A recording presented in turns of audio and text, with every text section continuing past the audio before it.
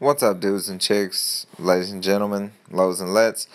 I wanted to show you guys that the Future Shock, I'm sorry, Future Shock's the first book in the series, followed up by dun, dun, dun, dun, Future Threat, which was the super fucking most awesome type book this year, and then Future Lost is what I'm showing you guys the cover to right now. It is just been released, well, in October, but we guys uh, finally get to take a look at it. I've been so, so, so excited, and man, I've really been anticipating this book.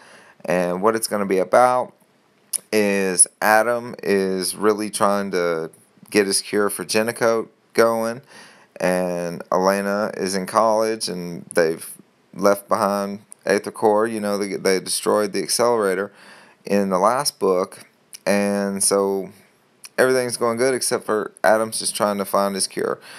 Uh, so he ends up going back to Aether behind her back and going to the future to find out what he's doing wrong. And he ends up not coming back in time.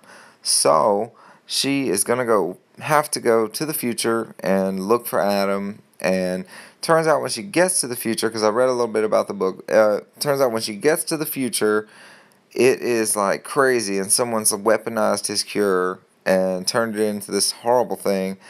And yeah, I can't wait to see where the adventure goes. The last book was so cool with Jeremy, the guy from the second group that ate their sentence of the future, turning out to be a psycho, hell bent on getting revenge against his dad.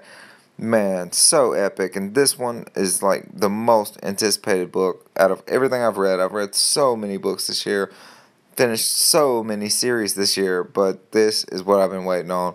So I'm sure it's what you guys have been waiting for too, and I'm just really, really, really looking forward to it.